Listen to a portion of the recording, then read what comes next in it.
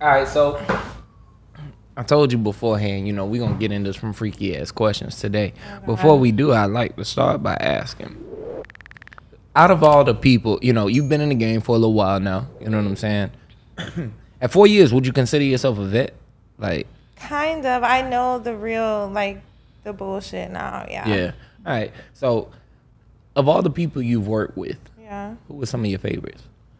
Um, Sara Jay was a favorite because she like she just told me, "Oh yeah, I'd love to film you," and she twirled me around at this convention like I was a little show horse, and she said, "Yeah, I'm filming you tonight." And she fucking just treated me like I was just this beautiful princess.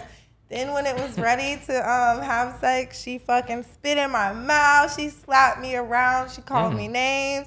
It was amazing. I loved it. But yeah, she gave me no warning, and I think that was the um, greatness about it. And a lot of people love that.